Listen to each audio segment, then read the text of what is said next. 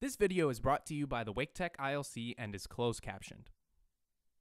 Today, we'll be discussing passive versus active voice, how to differentiate between the two, and how to avoid using passive voice. Firstly, what is the difference between these two voices? Active voice is when the verb corresponds with the subject of the sentence, and passive voice is when the verb corresponds with the object of the sentence, meaning that the subject has something acted upon it. Let's take a look at an example. I taught a class. This is an example of active voice.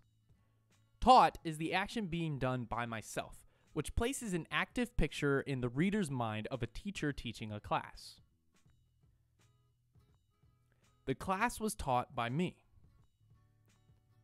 This would be passive voice because the subject of the sentence, the class, isn't participating in the action that I, the teacher, am doing.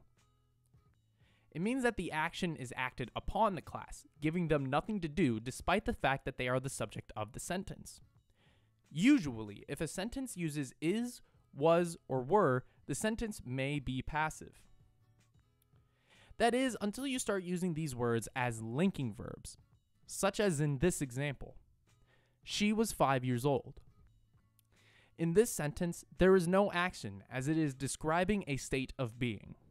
These linking verbs, like is, was, were, are, seem, and become, don't have an action, instead, being treated like an equal sign.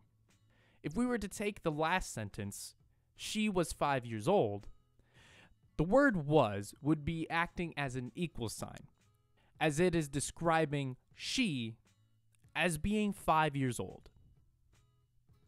Thanks for watching. Be sure to follow us on OrgSync and like us on Facebook.